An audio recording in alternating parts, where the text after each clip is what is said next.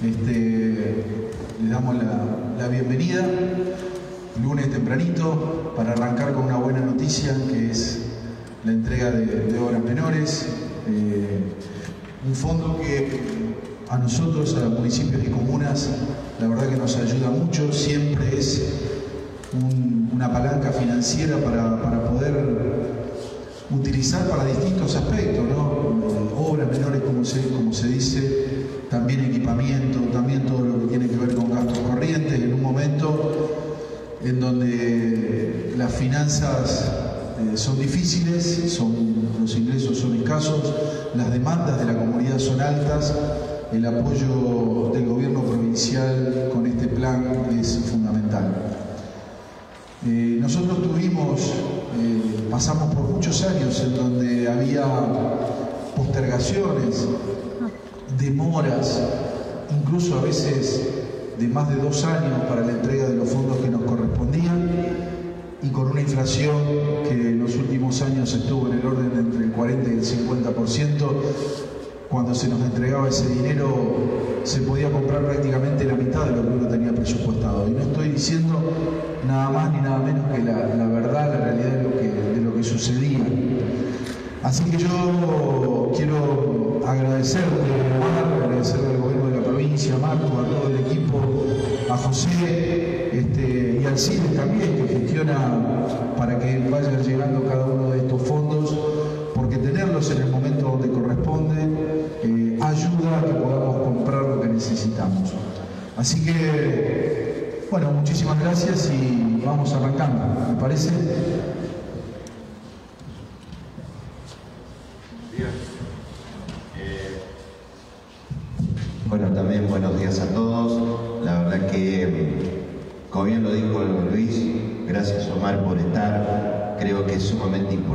Para, para todos nosotros, ¿no? pero también principalmente para ustedes que, el señor gobernador de la provincia eh, pueda hacer entrega en manos de, estos aportes. Eh, como bien se dijo, eh, creo que nos ha costado mucho en el inicio de gestión poder regularizar esta situación propio del, de financiamiento y el déficit que tenía la provincia, luego de tres meses también el tema de la pandemia, como lo veníamos llamando, lo que estamos esperando. Eh, la verdad que nos pone realmente como una verdadera garantía de que, de que esta ley, que es la 12385, su modificatoria, como es la ley de obras menores, pueda cumplir su verdadero objetivo como fue planteado allí hacia muchos años, principalmente en el año 2005. Conocemos de, la sensibilidad que tiene este gobierno provincial, no solamente en el tema de obras menores,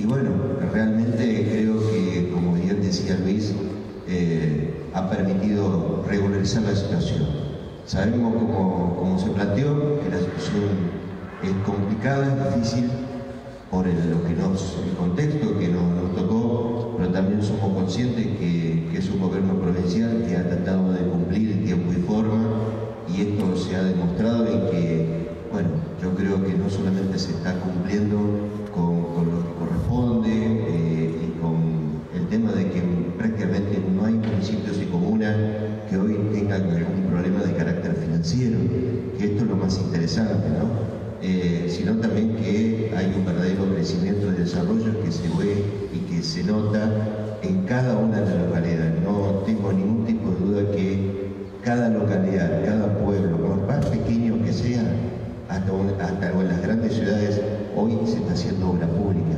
Y esto es lo más lindo no solamente porque se está dando bienestar, sino también la posibilidad de que eh, podamos generar eh, mano de obra casi local. Entonces, en ese aspecto me parece que es sumamente valorable, así que bueno, gracias Omar por, estar, por acompañarnos.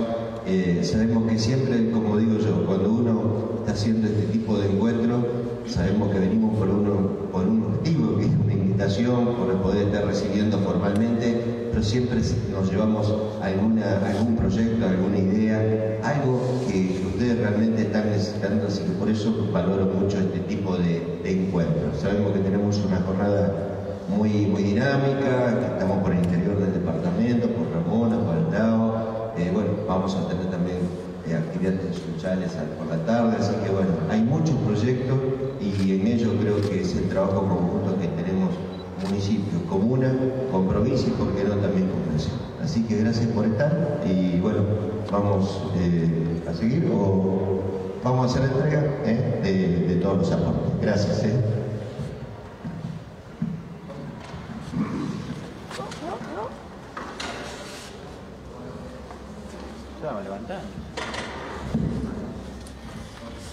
Bueno, muy bien, vamos a comenzar con la municipalidad de San Chávez aporte generado por la emergencia climática, son 400 mil pesos.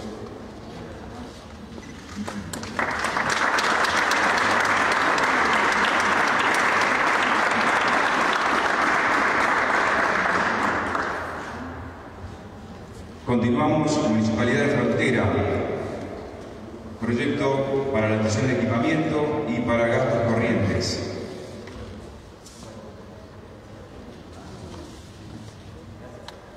El monto equivale a 5.766.000 pesos.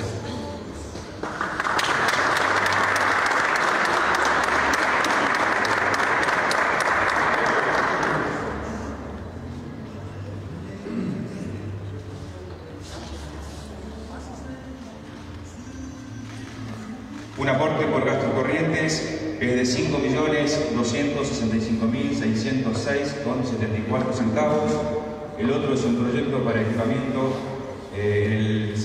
Licencia de Conducir por 501 mil pesos, 442 mil con 77 centavos. Invitamos a la Comuna de Aurelia, secretario Héctor Estrada, un aporte por emergencia climática, 2 millones de pesos, proyecto por obras menores, puesta en valor de acceso a la localidad, 350 mil pesos y colocación de equipamiento eh, en sectores de la localidad, 395 mil pesos.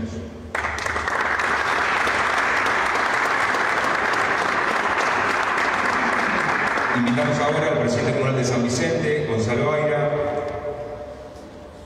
un proyecto por 2.755.500 pesos para la compra de niveladora y otro que equivale a 1.272.000 pesos, 732,28 para gastos corrientes.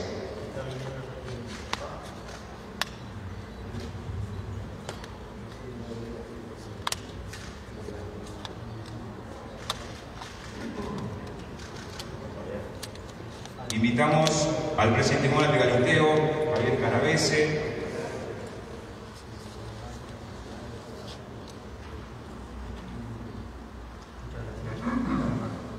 Comuna de Galisteo, un aporte por 2.076.000 pesos, 893,25 para la realización de obra estabilizado en caminos rurales.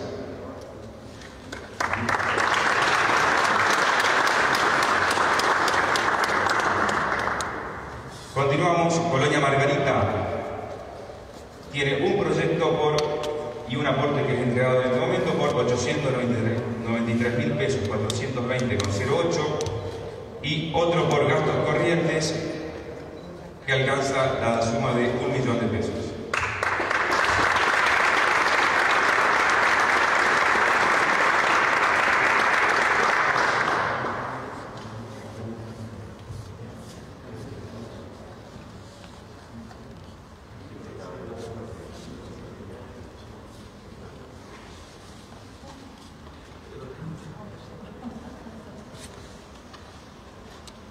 Muy bien, son tres proyectos de Colonia Margarita, uno para estabilizado granular y dos corresponden a ejecución para gastos corrientes. Continuamos, con una de Bávaro y invitamos a la presidenta comunal, Ana María Seré. Tiene dos proyectos, dos aportes que son entregados, uno por emergencia climática, 350 mil pesos, Y el siguiente es proyecto de obras menores, ampliación, galpón, resguardo de maquinarias, 1.477.000 pesos, 979,71 centavos.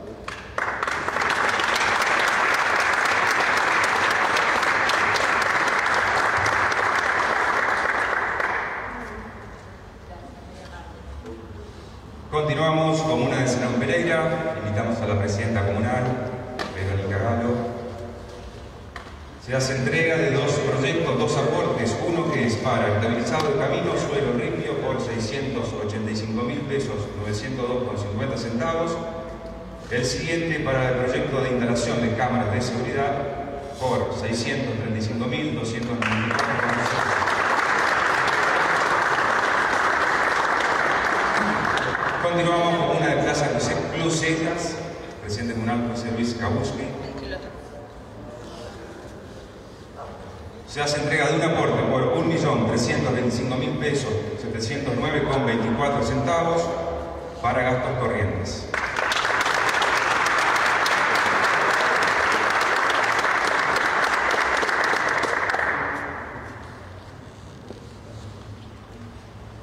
Comuna de Coronel Fraga, invitamos al presidente comunal Osvaldo Menardi.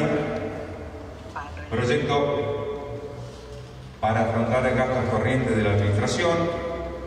Es un aporte de 845 mil pesos para dicho fin.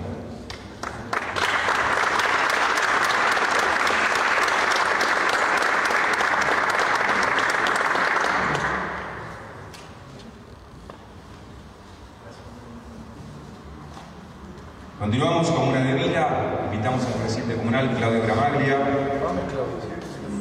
Se hace entrega de un aporte de 1.349.000 pesos con 644 para gastos corrientes.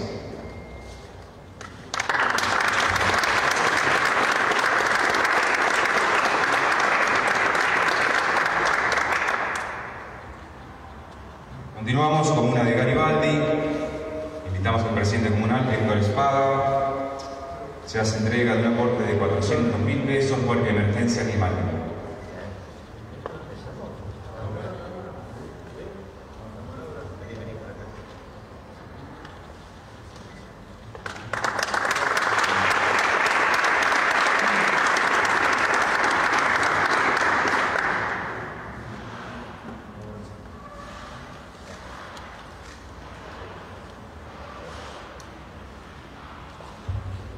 Comuna de Josefina, invitamos a la presidenta comunal, Martínez Icardi, recibe un aporte por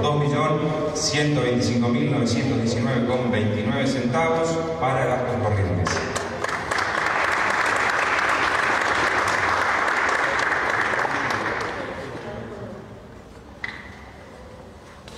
Seguimos con una de Estación Crucellas, presidente comunal Raúl Cruzino, recibe un aporte de 1 millón, un peso con 612 para gastos corrientes.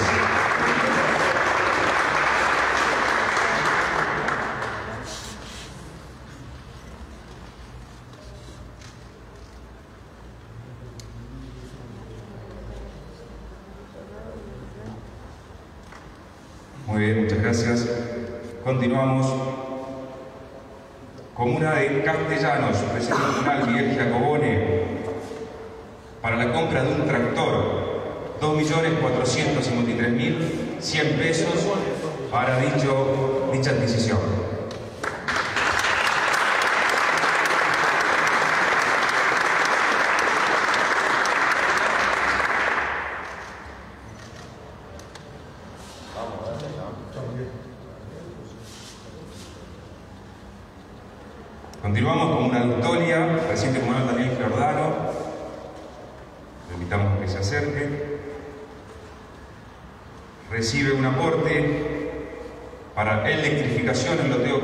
terceira.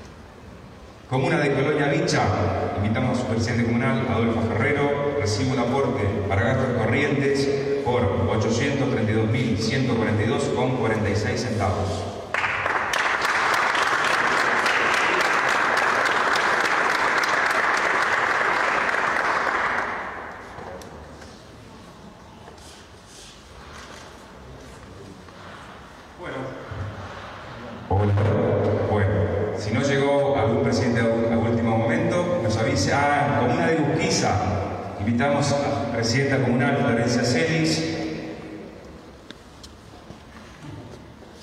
recibe un aporte para la puesta en valor de la Plaza Pública San Martín por 647.983,11 centavos.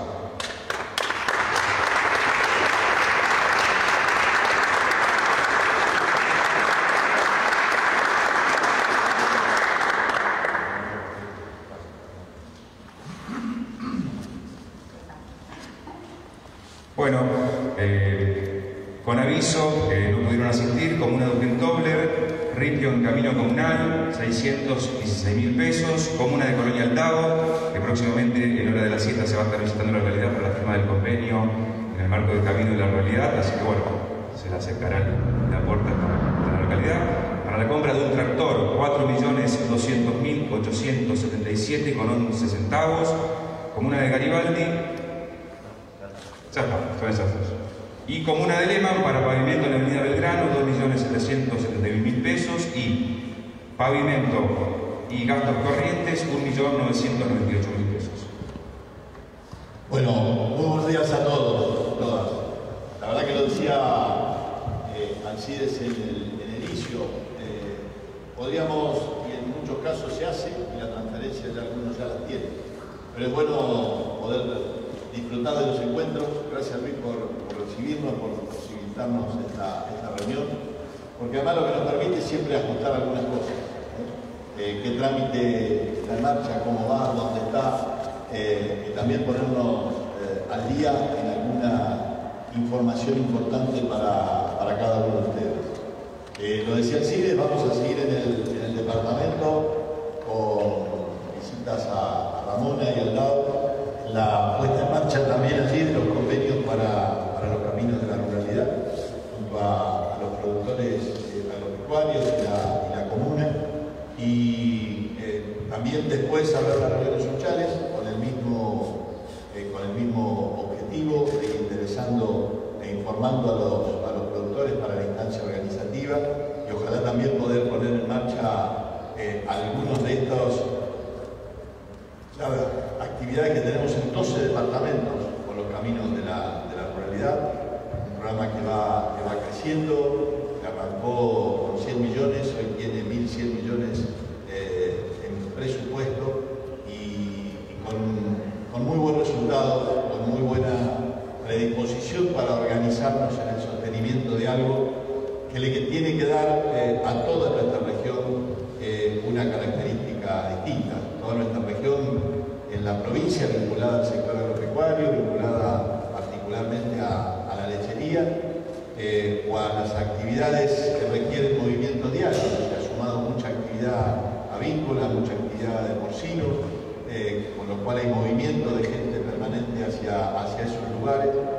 Bueno, en la zona sabemos muy bien que si no mejoramos los caminos rurales, si no mejoramos las condiciones de vida de la gente en el campo, se hace difícil para sostener gente allí. Se hace difícil eh, que una familia quiera ir eh, a lugares donde no tiene la de que sus hijos puedan estar asistiendo a, la escuela, que si tiene alguna emergencia de salud pueda estar moviéndose y saliéndose sin, sin inconveniente. Y son las cosas que tienen que ver en la decisión de vida que toma eh, una familia de ir a trabajar allí al campo o no. Entonces, son acciones que, van nutriendo eh, varias puntas. El sábado estuvimos inaugurando una en Galvez, justo se puso a llover, así que más prueba no podíamos tener. Y la señal fue muy clara, empezó a llover y nadie se movió. Y alguien dijo, en otro momento salíamos corriendo. Eh, cosas sencillas, estaban todos los alumnos, estaban los padres, estaban los productores eh, esos, esos caminos eh, y empieza a vivirse una situación distinta. Eso es lo que queremos ir trabajando y mejorando. Este proyecto que tiene, eh, en Alcide es uno de los, de los impulsores para, para provincializarlo y que está marchando con muy buena aceptación en la vinculación del Estado con los productores, con sus instituciones, con la comuna. Eh, y esa es la manera, entendemos, de poder hacer la obra y fundamentalmente de poder mantenerla. Eh, las dos cosas claves en, este tipo de infraestructura. Eh, hoy es un día importante para, provincia, se va a dar aquí en la, en la ciudad. llegamos a 2 millones de santafesinos y santafesinas vacunadas con dos dosis. Eh, hoy superamos esa, cifra, vamos a estar aquí en el vacunatorio eh, de, la ciudad. Decirles con información, a partir de mañana va a estar eh, comenzando la vacunación y la llegada de Pfizer a Reconquista, a Benalpuerto, a Rafaela. Empezamos con Santa Fe y con Rosario y es bueno que ustedes se lleven esta, esta información, porque hay consultas con respecto a cómo empezar a vacunar o cuándo se vacuna a los chicos de 12 a, 17 que van a utilizar esta vacuna. Eh, esta vacuna requiere eh, una modalidad distinta por el, por el frío. Es una vacuna que para su conservación y traslado tiene que estar en 80 grados bajo cero. Eh, estuvimos teniendo hasta aquí, estábamos 20 con Sputnik, que desarrollamos una logística aprobada, eh, AstraZeneca y Sinopharm con 6-7 grados, con lo cual era muy parecido a lo habitual de la, de la gripe, lo que nos daba mucha más movilidad. Esto es lo que lleva a que primero hay que hacer una capacitación, se hizo en Santa Fe Rosario, los centros de vacunación de cada uno de los lugares viajaron allí, eh, las enfermeras a capacitarse, cómo se saca del frío, cómo se prepara, requiere una combinación con un, diluyente, es decir, hay que tener una capacitación previa. Esto es lo que va llevando a acercarla a los centros para que después comience la distribución y en algunos casos para que acerquemos seguramente a algunos de los centros para vacunar a algunos de los jóvenes de estas edades. Quedan detalles eh, finales, pero también la ministra de Salud ha dado señales positivas sobre los avances en las autorizaciones para poder vacunar a los mayores de tres años eh, con eh, Sinopharm. Esa será la otra, la otra acción, seguramente que tendremos allí. Eh, y es importante porque nos permiten estas dos vacunas y en estos dos meses, particularmente octubre y noviembre, cubrir segmento etario que nos queda afuera, que son los chicos que están en algunos de los niveles escolares. Entonces, Mantengamos todos los cuidados acá, porque ese segmento todavía lo tenemos, lo tenemos desprotegido. Todo lo que podamos y hemos podido ir avanzando en extensiones de horarios, en el tema de, más actividades, si mantenemos los cuidados se va a poder eh, sostener, se va a poder cuidar, nos va a encontrar eh, la aparición de, la delta, vendrá, no vendrá, miren, todo lo que vino, lo que pasó en el mundo terminó pasando acá no vamos a hacer la excepción. Lo importante hasta aquí es que nos ha permitido llevar adelante un muy buen ritmo de vacunación eh, que nos da esta cobertura importante. Todo lo que podamos seguir vacunando hay que hacerlo porque es lo que nos va a permitir enfrentar la presencia eh, de Delta de otra manera, eh, de una manera mucho más seguras, porque los casos que se han dado en quienes están vacunados son leves. Y esta es la eh, instancia que nos queda. Eh, sigamos buscando en cada uno de nuestros pueblos, en cada una de nuestras ciudades, a quien no se vacunó. Puede estar desinformado, yo creo que ya son muy pocos los que pueden estar desinformados. Puede no tener alguien que lo acompañe a, inscribirse, puede ser, hagámoslo. Y puede haber gente con temor o, con dudas. Eh, a esta altura está algo muy claro y probado. La vacuna es efectiva, da resultados. Por eso estamos recuperando actividades, por eso estamos teniendo un descenso de casos muy importante, por eso estamos prácticamente con una baja en la ocupación de camas eh, central, clave.